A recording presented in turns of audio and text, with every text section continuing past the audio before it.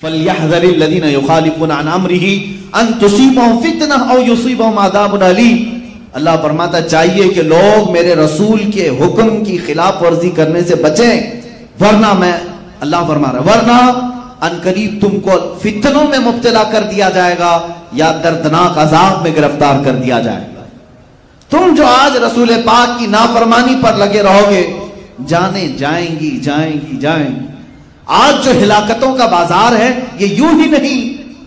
ان کے جو ہم غلام تھے خلق کے پیشوا رہے ان سے پھرے، جہاں پھرا پھر آئی کبھی وقار میں ہمارے وقار عزت میں جو کمی آئی، صرف اس لیے کہ چہرہ تمہارا وہاں سے پھر گیا۔ تم نے کیریکٹر کس کے اپنایا آج؟ کس کو رول ماڈل بن رہے ہو؟ ہر نوجوان کا حال یہ ہے، فلموں کی اسکرین پر دکھائے جانے والی گندی تصویریں ان کے رول ماڈل ہیں۔ تمہارے وہ ماڈل ہیں۔ ان کو دیکھ کر کے ان کے آئیڈیل بناتے ہو۔ ان کے چلنے کی طرح چلنے کی کوشش، ان کے کھانے کی طرح کھانے کی کوشش، ان کے پہننے کی طرح پہننے کی کوشش۔ اگر وہ ننگا گھومے تو بچہ ہمارا ننگا گھومنے میں فخر کرے۔ تم نے جن کو اپنا آئیڈیل اور رول ماڈل بنایا ہے، تو تمہارے ساتھ تو یہ ہونا ہی ہے۔ چند دنوں کے بعد دیکھنا کہ تمہارے گھروں کے اوپر کیا بلائیں نازل ہوں گی۔ مشرقین تمہارے نام سے چڑھتے ہیں آج بھی۔ تمہارا وجود یہ دیکھنا نہیں چاہتے۔ قرآن نے بہت پہلے ہمیں سمجھایا۔ یہ تم سے کبھی نہیں راضی ہوں۔ گے تم اپنے آپ کو پورا بدل لو۔ کچھ بھی کر لو۔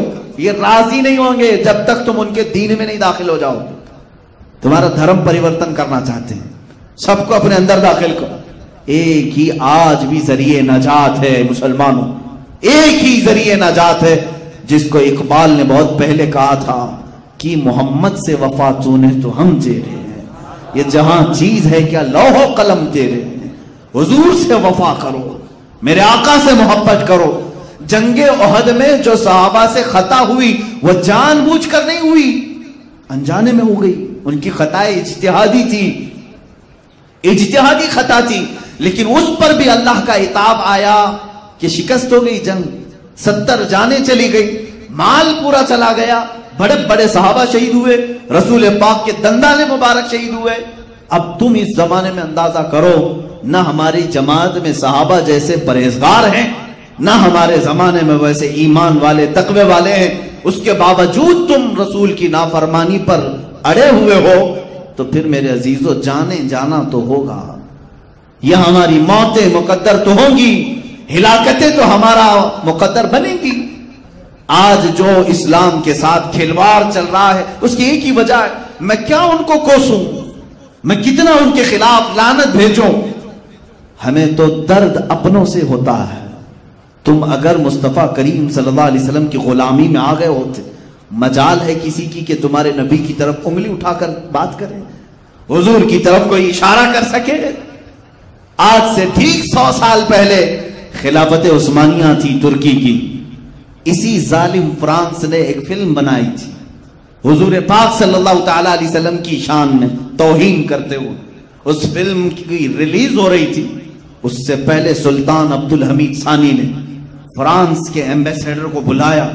اس کے سر کے سامنے تلوار ہلائی اور کہا، سنا ہے فرانس، میرے رسول کے خلاف فلم بنا کر ریلیز کرنا چاہتا ہے، اسے بند کرو۔ اسے بند کرو۔ اس سبیر نے کہا، وہ تو عام ہو گئی، وہ تو ریلیز ہونی ہی ہے۔ اس کو تو ریلیز ہونا ہے۔ ہمارے ہاں آزادی رائے کا خیال کیا جاتا ہے، ہر ایک کے لیے فلم بنتی ہے۔ سلطان عبد الحمید نے کہا، تو پھر تیار ہو جاؤ، پوری دنیا کو میں تمہارے سر پہ کچل کر کے رکھوں گا۔ جس نے میرے نبی کی توہین کی، میں آج ہی پوری امت اسلامیہ میں جہاد کا اعلان کرتا ہوں۔ صرف جہاد کا لفظ سلطان عبد الحمید ثانی کی زبان پر کیا آیا کہ فرانس کی گھگی بن گئی؟ اسی دن وہ فلم ختم ہو گئی۔ نہ ریلیز ہوئی، نہ کہیں پھیلی۔ ایک قائد اسلام کی ضرورت ہوتی ہے۔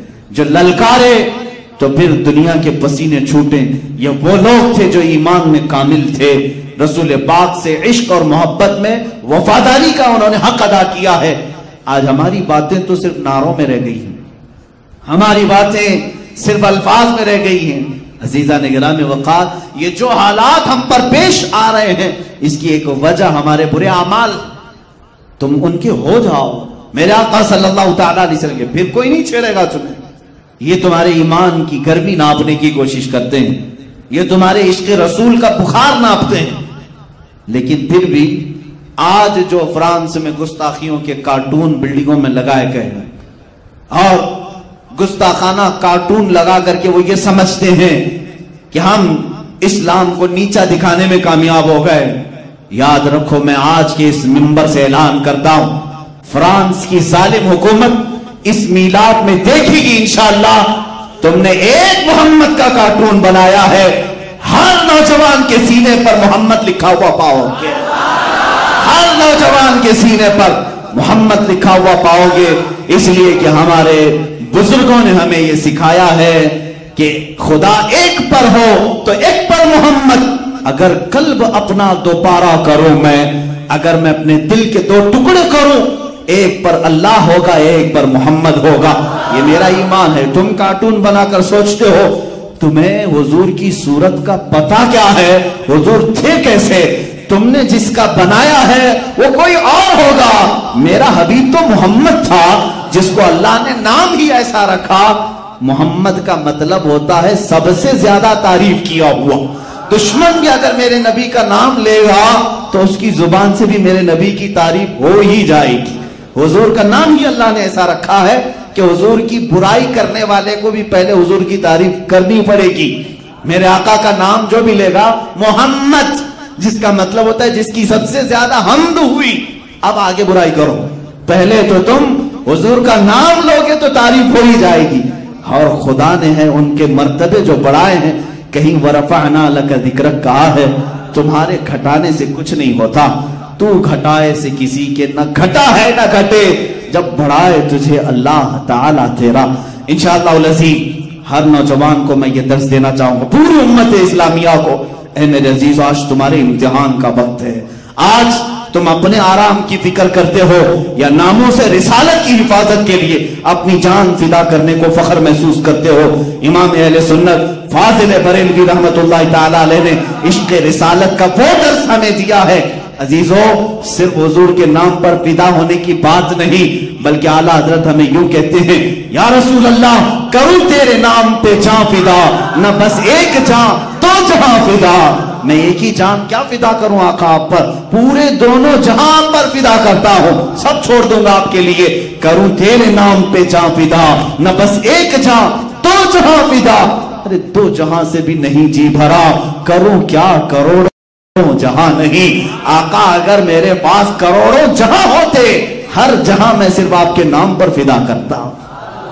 اور علامہ جامی کہتے ہیں فدائے نقش نالینت کنم جان یا رسول اللہ، لوگ کہتے ہیں، آقا، آپ کے نام پر میری جان حاضر ہے۔ آپ کے جسم پاک کی حفاظت کے لیے میری جان حاضر ہے۔ مگر ملا عبد الرحمن جامی جیسا ایک ایسا عاشق ہے جو فارسی میں پکار کر یوں کہتا، آقا، آپ کے نالین پاک کے نقش پر میری جان حاضر ہے۔